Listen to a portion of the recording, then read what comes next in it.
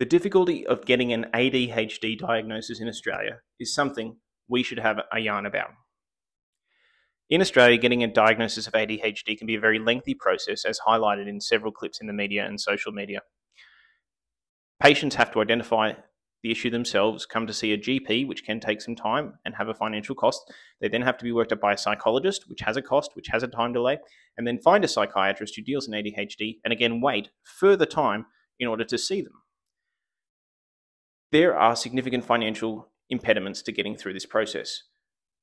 In an, art, in an article released by the RACGP, one cost for a telehealth psychiatry review was $700, and there was a report made in the media of cost to see a psychiatrist of $3,000 to get an ADHD diagnosis assessment. So, what can we do?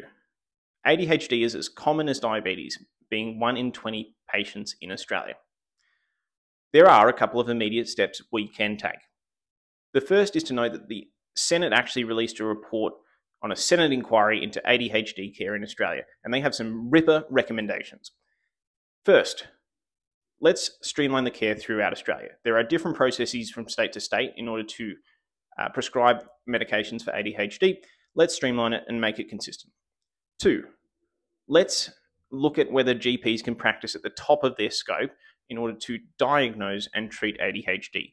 We already diagnose and treat many mental health conditions, other serious cardiovascular conditions. Why can't we look at our options for GPs operating at the top of their scope, particularly in areas where access is even more difficult? I work in outer metro, but rural and remote is another kettle of fish. Three, let's make getting into the GP to access care as easy as possible. At the moment, your rebate as a patient is the same whether you see someone for six minutes or for 19. That is the same rebate and ADHD often requires long care. It requires a long consult. It requires time to dig into what's going on. Let's adjust the rebate so that seeing someone for six minutes is not the same as seeing someone for 19. Four, let's make general practice as friendly as possible for neurodivergent patients. This is something we can implement immediately, and it's something that we have control over that we can do while we're waiting for further action out of the Senate inquiry that came out in November 2023. Getting an ADHD diagnosis in Australia is a difficult process with financial, time, and other barriers. This is something we need to have more of a yarn about.